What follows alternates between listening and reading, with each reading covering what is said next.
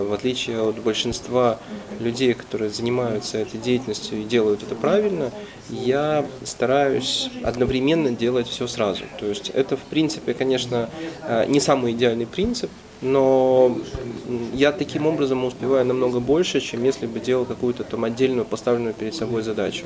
То есть у меня одновременно э, есть такие проекты, как проект там, озеленения города, одновременно есть проект, связанный с э, преобразованием дворов, это дворики Одессы. Также есть э, очень много других проектов, наверное, о каждом лучше рассказать хотя бы два слова в отдельности, попробуем, но в принципе просто перед тем, как перейти, может быть, каждому из них, хочется сказать, что большинство людей, которые живут в этом городе, в любом другом городе, они ставят чаще всего перед собой какую-то более простую задачу, не понимая, что могут потянуть намного более сложную. И таким образом мы часто ограничиваем себя не только там в социальных каких-то проектах, но и в жизни по-хорошему, и в бизнесе. Поэтому, начав заниматься этой деятельностью, я сначала просто попробовал, и после того, как я понял, что при вложении определенного количества сил, усилий, не знаю, сердца, души в этот процесс, можно добиться того, чего иногда не добивается даже какая-нибудь маленькая карманная партия какого-нибудь маленького олигарха.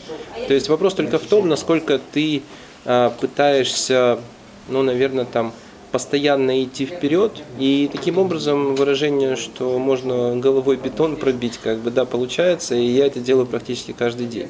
Если так отдельно поговорить о каждом проекте, то, например, там проект «Зеленый город».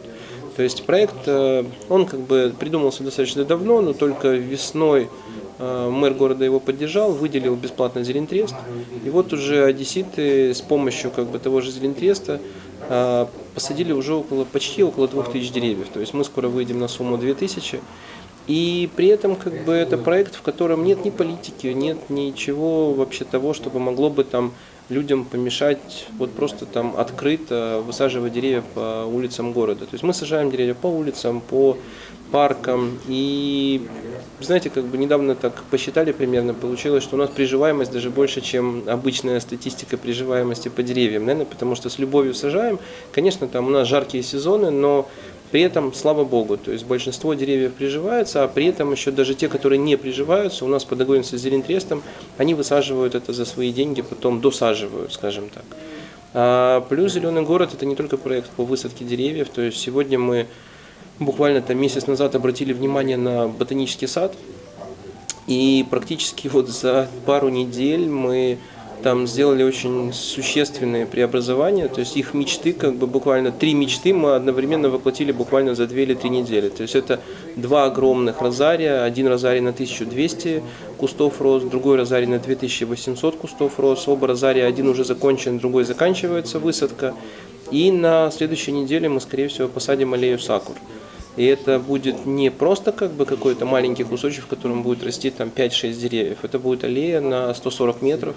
То есть это будет красивое место, которое, когда сакуры расцветут и вырастут, я думаю, это пару лет, в которое мы будем ходить уже и любоваться так, как делают это жители Японии или прилетающие туда миллионы туристов из разных стран мира.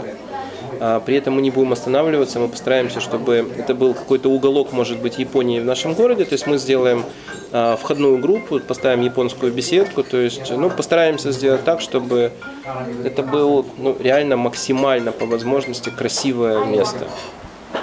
А, при этом на данный момент, то есть если можно сказать, что вроде бы там зеленый город это все, и вот сейчас уже становится холодно, и мы останавливаемся, нет, мы будем разрабатывать проект а, озеленения и благоустройства парка на 9 фонтана, кажется, там, где памятник вот э, бык с быком, а, не помню его точное название. И вот, в принципе, я думаю, что это будет первый образцовый такой вот сквер, на который, наверное, там должны будут или будут похожи скверы будущее нашего города.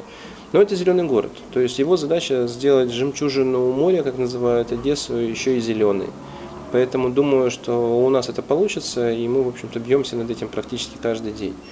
Есть проект «Дворики Одессы». То есть э, мы часто, когда подходим к выборам, слышим о том, что вот там депутаты поставили летнюю площадку, тут поставили две скамейки, там что-то покрасили.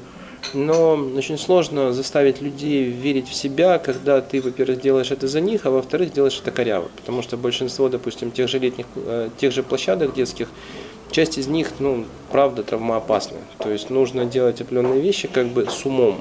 Иногда депутаты торопятся и делают это лишь бы подешевле.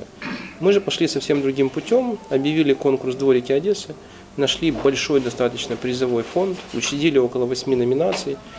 И дворы сами вместе, собираясь, скажем так, в едином порыве, а, устраивали какие-то определенные субботники, благоустройства, они сажали деревья, они придумывали какие-то а, сады камней, рисовали заборы. То есть около 50 дворов участников, то есть на самом деле это, если у нас была надежда хотя бы 7-10, мы привлекли внимание около 50 дворов, и многие дворы действительно сделали те вещи, на которые там ну, никто никогда даже не рассчитывал и не ожидал. То есть сегодня мы раздаем призы, и это не просто раздача призов, то есть мы, мне кажется, поступили очень грамотно, то есть мы не даем денег в руки, мы даем возможность людям сделать дополнительное благоустройство в своих дворах. То есть сегодня уже один из дворов купил э, себе уличный теннисный стол. И благодаря победе жителей этого двора теперь все они могут выходить и заниматься при этом еще и спортом на улице как бы в любое удобное время. Также будет и с другими дворами, которые сейчас э, как раз занимаются этим благоустройством. То есть, в принципе, проектов, которые я делаю, их много. То есть лучше всего зайти на сайт твойгород.com.ua а, или просто найти меня в Фейсбуке Анатолий Кавун, и вы увидите ряд еще проектов, связанных с благоустройством. А, так, чтобы все не перечислять, может быть, еще стоит сказать о проекте «Доброе дело», потому что проект э, на самом деле уникальный. То есть вы сейчас можете легко ввести в интернете «Доброе дело», и вам практически в любых ситуациях выбит информацию о нашем проекте. То есть суть его в том, что это такой универсальный справочник по добрым делам.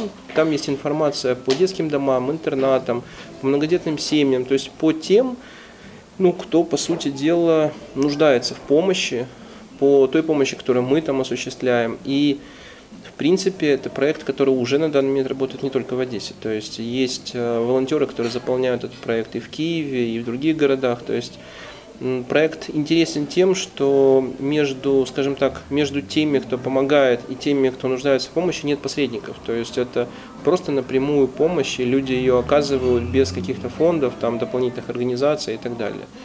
И это как бы, я не скажу, что какой-то там слишком глобальный проект. Это еще один из проектов, которые помогают людям, ну не знаю, получить поддержку, а тем, кто ее хочет дать, все-таки ее оказать. А, в рамках этого проекта существует благотворительный бал, который проходит уже там 4 года, и в следующем году это будет пятый юбилейный, так скажем. То есть мы практически, ну я не скажу, что каждый день, но каждую неделю оказываем поддержку, покупая там инвалидные коляски, покупая какие-то вещи по интернатам, детским домам. То есть, в принципе, движемся постоянно. Со стороны, конечно, это все достаточно ну, навязчиво, и очень многие ждали на этих выборах, что я пойду в политику, но не дождались. То есть я как и раньше, так и сейчас говорю, что если политики не будут мне мешать, то я не буду идти в политику и мешать им там. Поэтому я делаю то, что делаю, и мне для этого не нужен абсолютно депутатский мандат. Единственное, что я могу иногда позволить себе некое, ну скажем, не, не хамство, нет, а некорректный вопрос депутатам, что же сделали вы лично. То есть таким образом пытаясь их иногда хотя бы привлекать к процессу какому-то, который, в общем-то, должен происходить с их точки зрения.